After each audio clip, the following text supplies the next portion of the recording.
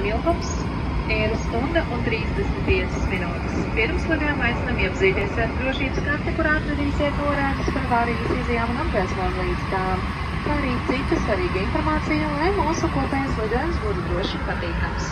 Drošības karte atrodas sēdekļa kabatā jūsu priekšā.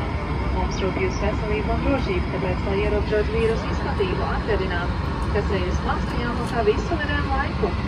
Tās noņemšana atļauta tikai sekojot apkalpes norādēm gadījumos, ja būs nepieciešams lietot skābekļa maskas. Jūsu drošībai lūdzam izmantot dezinfekcijas sālvadļu, lai notīrītu rokas un virsmas sev apkārt.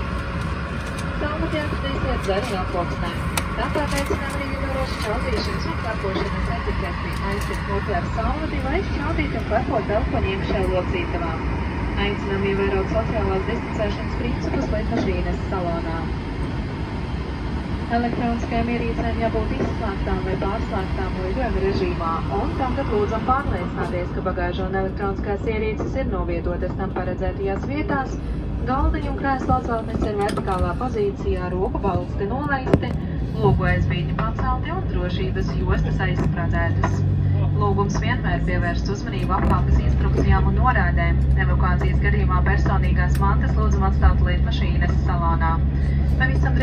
Būs vērojama drošības instrukcijas demonstrācija. Pateicamies par uzmanību un novēlam jums patīkamu lidojumu!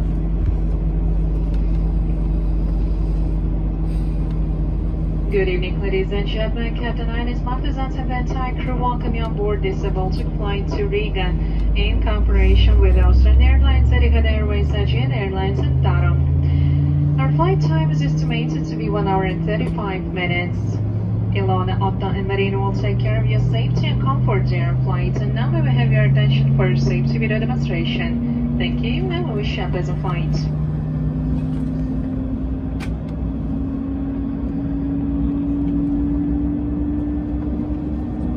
Welcome aboard this Airbus A220-300, one of the greenest commercial jets in the skies.